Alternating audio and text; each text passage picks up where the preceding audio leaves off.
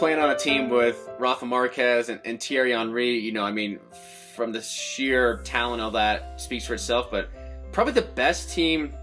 Um, you know, I, I got two two two examples. Is probably in college. Uh, my Wake Forest team, probably my junior year, I want to say, um, is is first the team was just filled with with talent. I mean, I think I think almost pretty much everyone, you know, there's probably nine to 13 guys that went pro on that.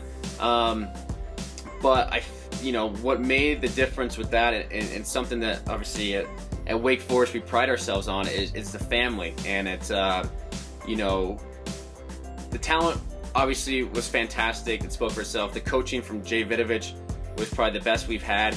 But it was all guys who were willing to go fight for each other and put the team above themselves. No one was in it for their own benefit. It was all Wake Forest first, the name on the jersey, on the back of the jersey second. Um, and I think that's what made us so, we were so good and just the best team I played on um, was that everyone was willing to do the dirty work um, and everyone was willing to do their job and then help the guy next to him. So um, I think, you know, I think you see you see that now in a lot of you know modern day football with a team like Leicester is maybe not the most talented guys, but together that teamwork and that belief. And that was the thing is we had a belief that we could walk on the field and beat anybody any day.